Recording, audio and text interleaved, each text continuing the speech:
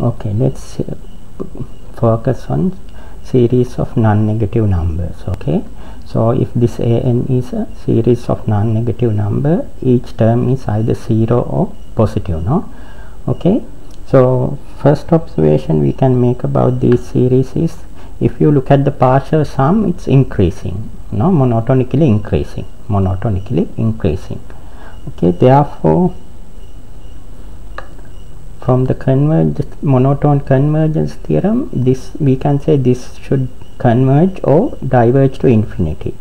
We get the converge part if it's bounded then the monotone convergence theorem is there to say it's convergent no? Because this is increasing this otherwise because this is increasing it have to go to positive infinity no? So in the divergence there are three cases oscillate or negative infinity but because this series is increasing monotonically increasing it cannot go to negative infinity or it won't oscillate. Okay so it only option is to go to infinity. Okay.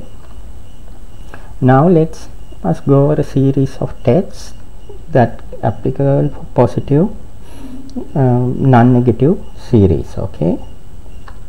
Comparison tests okay. So the first of these is called the direct comparison says okay if applicable if there are two series are here so that each term, term of ak is smaller than or equal to the bk and if ek is non-negative bk is also non-negative no? So every term in ak is less than or equal to corresponding term of bk for all the case when this happens we tell bk dominates okay now in this test first thing in this test is if bk converge if this guy converge is forced to ak to also converge okay? We cannot tell uh, which value. Only that both, both if bk converges also ak is converging okay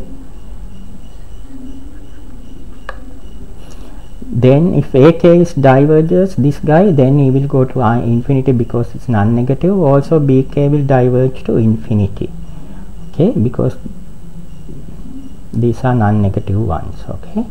So so when you applying this test to a given series first it have to be non-negative.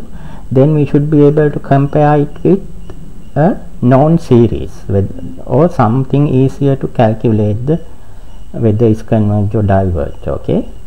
If this initial this condition holds for all the terms after some term then still this thing is true no? Because the tail part of the series is what determined its con uh, convergence finite terms what happened to the finite terms doesn't matter okay?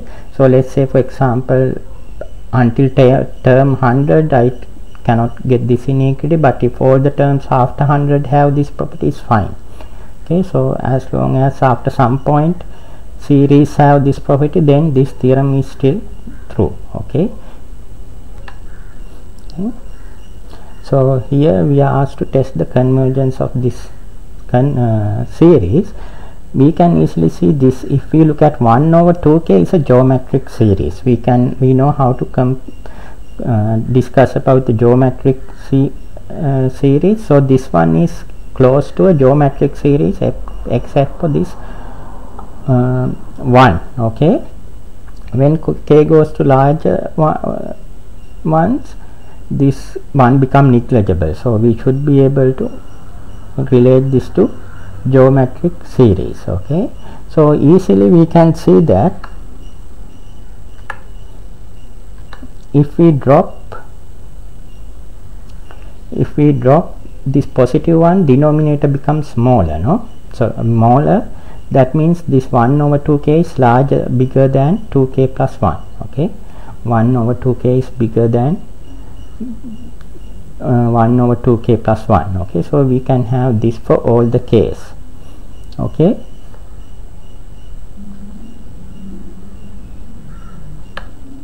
now this 2k I 1 over 2k like I said this is a geometric no? Because first term is half second is 1 over 4 the common ratio is half okay? So this is geometric with common ratio half.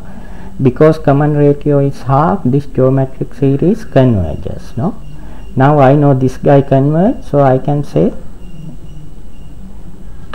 this series also converge from the comparison test okay that's what is asked. Decide the convergence. So we decide concluded that this is also converge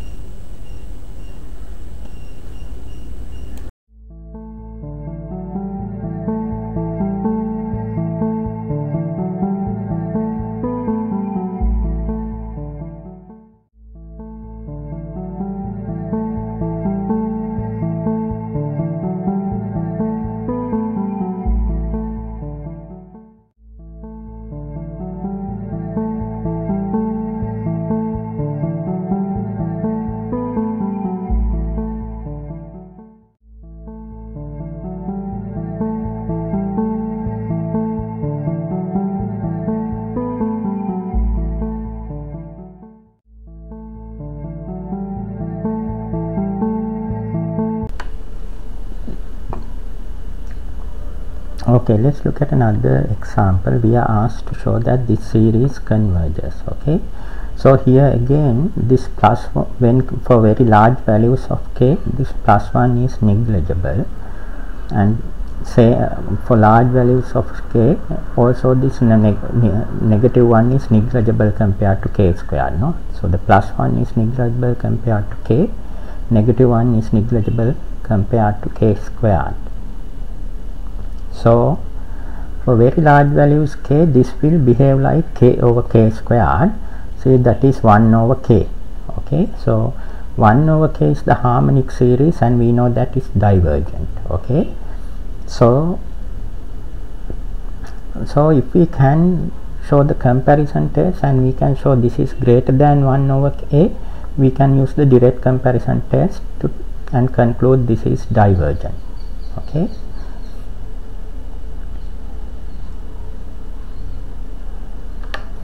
so we start by observing this.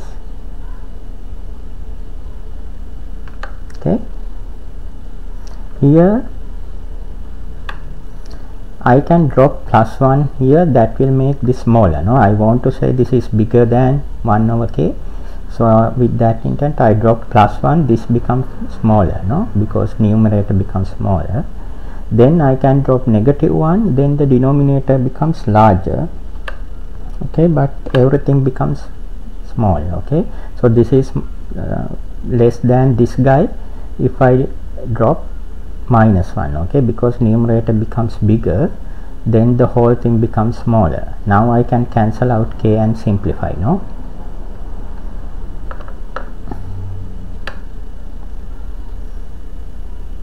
Okay.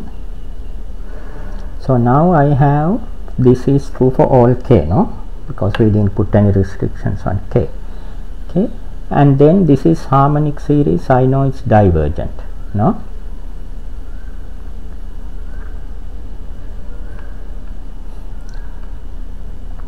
So we can say this is for k the harmonic series diverge 1 over k. So because of this from direct comparison test this one also diverges no? Okay now let's move on to another example. Okay. Here we are asked to test the convergence of this one. Again here plus 8 is negligible compared to k and k plus 8 is negligible compared to k cube for large k's okay so this is like k over k cube but if we cancel out then it's like k behaves like 1 over k squared no? So this guy behave like 1 over k squared for very large things and 1 over k squared is convergent from the p-test no? So it's convergent from p-test so if we can show this is less than 1 over k squared we can use the comparison test here also. Okay so we'll go for that. So we start. Okay I can drop the k plus 8 in the denominator no? Then this becomes small. So everything will become large okay? So that means this is bigger than uh, this guy is bigger than the original one. Now I cannot drop this 8 because then denominator numerator becomes smaller. What I can do I can put a plus k. Only when k bigger than 8 no? If when k bigger than uh, 8 this thing becomes further and um, bigger than k plus 8 okay? So we have that condition there.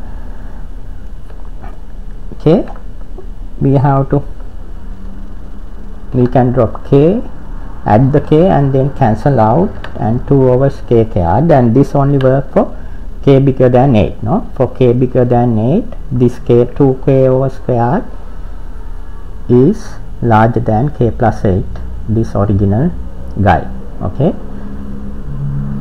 Now we know that this thing and then this series converge from p series test so we can conclude using the from the direct comparison set we can conclude that this is divergent okay?